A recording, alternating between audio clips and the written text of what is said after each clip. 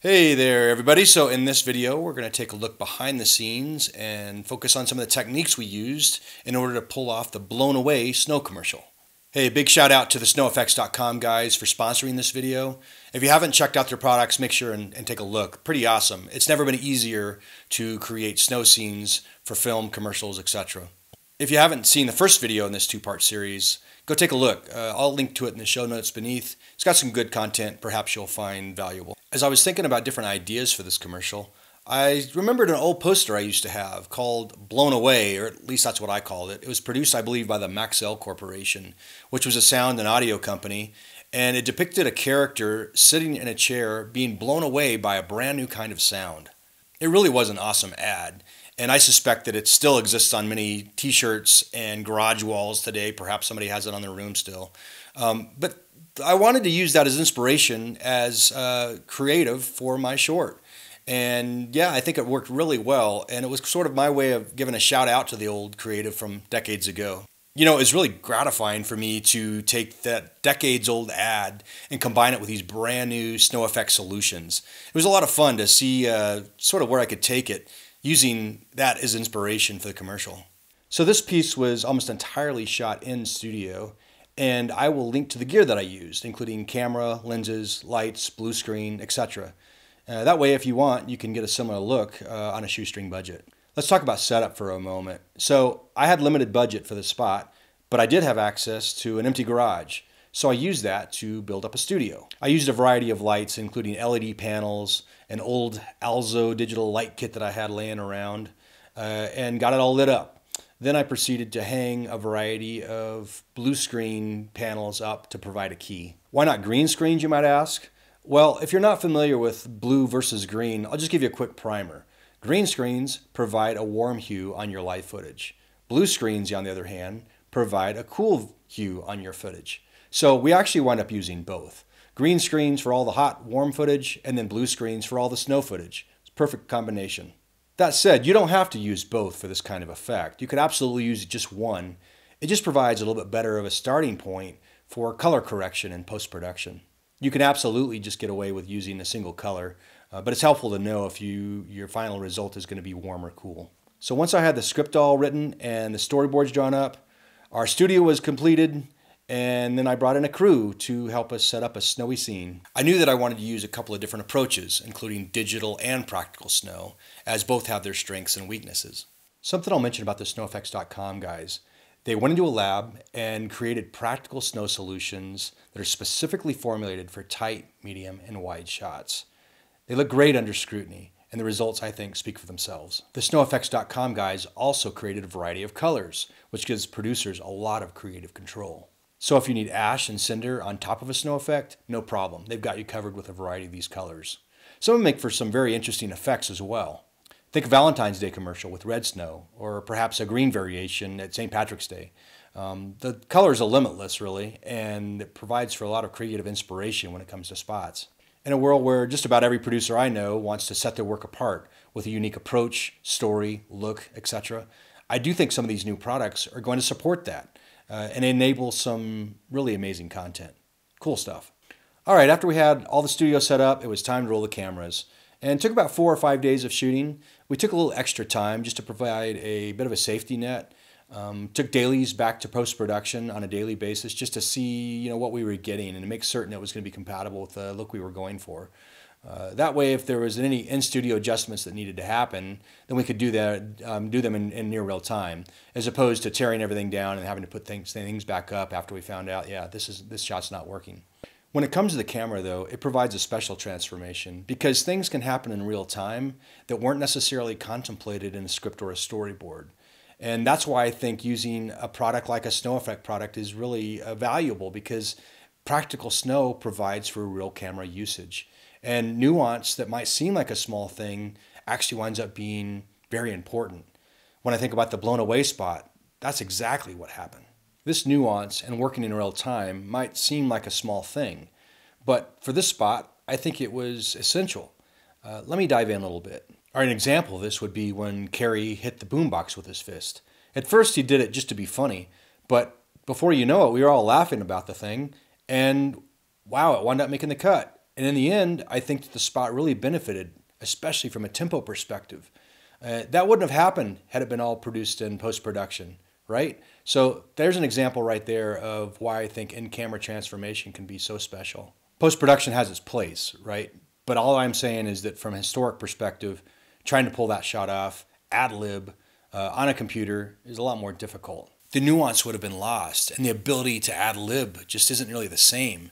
I'm not sure the moment would have ever even happened had we taken a heavier post production approach. Once we had all the non snow footage in the can, i.e., the desert shots, etc., it was time for us to start shooting practical snow.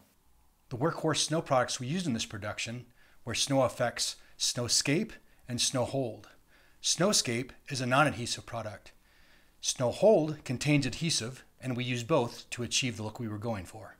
For in studio applications, adhesive will create a bit of a dust residue. Um, so it is highly recommended to have some sort of ventilation. In our case, we had an open door and it worked perfectly. In order to ensure protection from any of the dust residue, we use plastic bags to cover up our sensitive gear.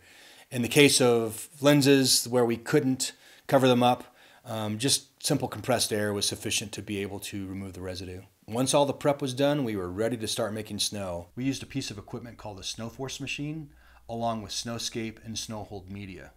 It's not necessary to have a machine for either Snowscape or Snowhold. However, it just makes things go a lot faster. So if you've watched the spot, perhaps you'll recall there's a certain point where the doors open and blow our actor, Carrie, away with snow. And we used Snowscape to great effect and sprayed him all up and down his face, back, sides, everywhere, um, chair, etc., uh, to achieve the effect. But in addition to that, we also wanted blowing snow, sideways blowing snow. And some of that was achieved in post production, but some of it was also achieved, achieved practically using a machine called a Snowforce. In order to get even more force out of that thing, we wind up using a backpack style leaf blower to get a little bit more of a, of a blizzard effect, if you will. You don't necessarily have to use the machine, as Snow Effects makes a variety of options that are more run and gun and can be applied by hand. The other product that I mentioned that we used is called Snowscape. It's a hand delivered product that you can basically dump out of a bag to get a drifting effect, and you can make it very thick or uh, as thin as you like. Um, it's great for the wider, uh, I'd say medium to wide shots, and the cleanup is a snap as well. You don't need a machine to apply it. Um, so it can be very versatile for that purpose. The advantage using a Snowforce machine, when paired with the Snowhold media, is it provides a tremendous amount of flexibility for a variety of shots. Putting the Snowforce machine into action is simple. It combines forced air, water, and Snowhold media to create a winter wonderland. In order to use it, you'll need a power source along with a water source, and then you combine that with the Snowhold media. The machine has uh, controls to vary the water to snow ratios. This allows you to get the snow consistency just to your taste. You can get a whole variety of different looks by using these controls. Anything from a slushy mess to pristine frost on the side of a tree uh, to covering acres, which is an awesome look, by the way. So, as I was contemplating the script and the storyboards for this spot, I really envisioned two different actors. One was Carrie, our human. Uh, the second one was really the snow.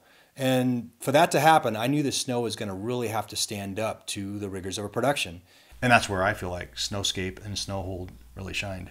It did take a few tests uh, with the machine and his arm uh, to be able to get the settings just right. Um, you'll just have to experiment to, to get your settings the way that you want them. It's just part of the process. Maybe it took us five to 10 minutes to nail. And then once we had it, we were off to the races. Just a quick disclaimer here. If you do decide to spray someone else, yourself, or perhaps an animal, make certain and take the right precautions. It will create airborne particles that should not be inhaled. There are nose filters, believe it or not, that are small enough to fit into a nostril. These are typically used for allergies and during allergy season and they're small enough that they're not very detectable by a camera. You might consider those as another layer of protection. Snowscape and Snowhold are non toxic. However, do this at your own risk and make certain to take the right precautions. We wound up dialing in mid range settings on the Snowforce machine, and that was the perfect combination to blast Carrie, uh, like the abominable snowman, if you will. I wanted him to look like a tree that had been in the middle of a blizzard at the top of a mountain. Um, so that was the effect we are going for, and that's what the storyboards called for. I think we really nailed it with the Snowhold and Snowscape media. As we sprayed Carrie, our actor, with the Snowhold material, his transformation was nearly instant. Um, from my perspective, that's crazy. Coming from a 3D background, uh, if I tried to pull something off in a similar fashion in 3D, it would have taken a tremendous amount of time to get the same quality effect. Who knew creating blizzard like effects could be so much fun, but it actually was a lot of fun. Blasting whatever objects were in the scene with a snow force made an instant transformation and made everything look like it was in a blizzard. So once we had all the snow footage filmed and in the can, we were ready to clean up. That was about a 20 minute process, and primary tool, just a broom. Uh, that did the, the trick for the most part. When it came to Cary, uh, just a hot cloth uh, seemed to get most of it off him. If you do plan on spraying a lucky actor with either snow hold or snowscape, have them plan on cleaning it up with just a hot shower. We then set out to post production, where we embarked on building a 3D blizzard that would complement the live action blizzard plates. To do this, we used a variety of packages. These include Resolve, Maya, Unreal for Previs, and a variety of other uh, packages for the dy dynamics for the Blizzard. So I laid down a music bed and I used content from Audio Network. Uh, you might check them out if you're not familiar with them. Just quick comment, I am not sponsored by them. I was turned on to them by Philip Bloom, another filmmaker you might be familiar with. Um, yeah, just really quality content, a ton of it, uh, compared to other sites that I found where they've got a lot of content, but it's not necessarily quality. And so this one fit the bill, and I think it really complemented the spot. All right, to summarize here, my big takeaways from this spot one, pre production, previs is a must, at least from my perspective and my approach. I like to start with the basics. Come up with a good script, complement with some storyboards, use those storyboards to block out your shots, and then you can determine locations in studio, outside, perhaps a combination of both. The second thing I'll mention is tool set. For me, that was Snow Effects Snowscape and Snowhold. Uh, those items uh, really helped to pull things off in camera and eliminated the need to do all the heavy lifting in post. These tools also enabled talent interaction with the snow, uh, which was awesome. Uh, and it allowed for flexible options for me and spontaneous direction as the shoot was happening. So yes, I am sponsored by snoweffects.com, um, but it's not just a pitch for them. I honestly wanted you to know that this stuff is pretty cool, and I was a little bit surprised once I got into it. Um, it allowed for a lot more flexibility than I expected. And having on demand snow for a snow spot means I'm not having to chase some random storm somewhere and I can determine my own calendar and my own shoot schedule uh, versus having to yeah, be out in the elements. I love to create this kind of spot. You know, it may not be a $30 million spot, but it also doesn't look like it was done on a small budget. Um, and that's right where I want to be. I want to create value for the client and I want to create value for myself, right? And so both of those things happen with this spot. Uh, and, and Snow Effects, not to shamelessly plug, but they were a big part of that. And I can see using that again and again in different productions that I do over the years. I can't wait to see what the production community is going to do with some of these snow effect uh, tools that are out there. And uh, yeah, I'm anxious to see yours too. So if you come up with something, leave it in the comments. I'd love to see it. Hey, thanks for sticking around this long. I hope some of it was helpful to you. And now I'm going to roll blown away. Thank you. Enjoy.